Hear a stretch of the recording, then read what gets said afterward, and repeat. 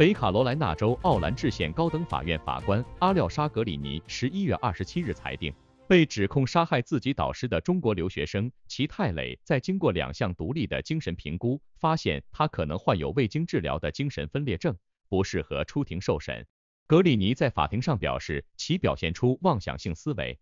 出现幻听，在拘留所中有自残行为，思维过程碎片化，阻碍了他的沟通能力。严重的精神疾病使他无法理解自己的处境，无法协助他的律师，即使有中文翻译在场，也无法理解法庭程序。法官进一步裁定，其将被送往布特纳的中心地区医院接受心理治疗。如果他的病情有所好转，医生将被要求通知地方检察官。三十四岁的齐泰磊被指控于八月二十八日在校园实验室内枪杀了应用物理科学系副教授自己的导师严资杰，其因一级谋杀罪和在教育场所持有枪支而被关押，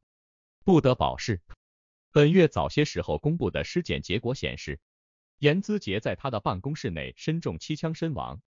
警方于现场发现了散落的九个九毫米弹壳。但他们还没有找到枪击中使用的手枪，检察官和警方都没有说起是如何获得这把枪的。他持有学生签证，不具备合法购买枪支的资格。因应非法入境人数激增，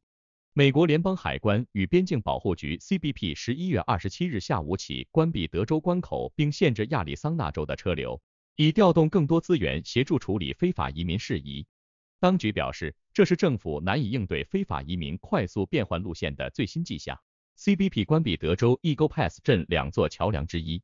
这里去年一度成为当局处理非法移民最繁忙的通道。此外，也管制亚利桑那州路克维尔的车流。此处是偏远的沙漠关口，近几个月成为偷渡客入美的主要路线。执法人员表示，非法穿越格兰河进入 Eagle Pass 的非法移民每天近一万人。因此，必须封闭一号桥，集中人力应对二号桥的非法移民。九月的关桥事件持续近一个月，影响贸易、商业活动和公民过境就医和探亲的安排。Eagle Pass 市长萨利纳斯表示，此次桥梁封闭对该市的贸易和货运造成至少五十万美元的损失。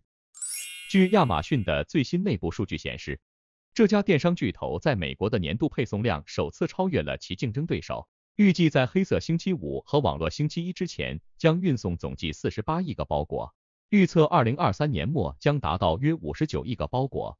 相比之下，联合包裹在今年前九个月在美国的包裹数量约为三十四亿个，预计二零二三年的总量不会超过去年的五十三亿个。而联邦快递在美国的包裹量更少，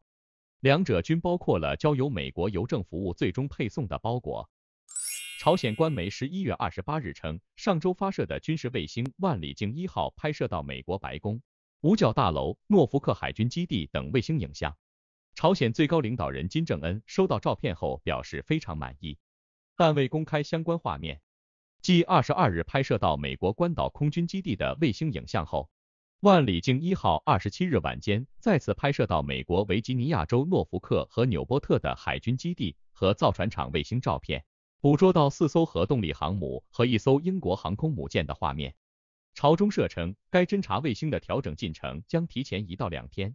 先前预计万里镜一号将经过七至十天的微调程试后，于十二月一日起开始执行侦察任务。美国和韩国谴责朝鲜发射卫星违反了联合国安理会禁止使用任何弹道技术的决议。韩国官员也指出，无法证实朝鲜所发射侦察卫星的能力。因为平壤当局从未公开过这些卫星影像。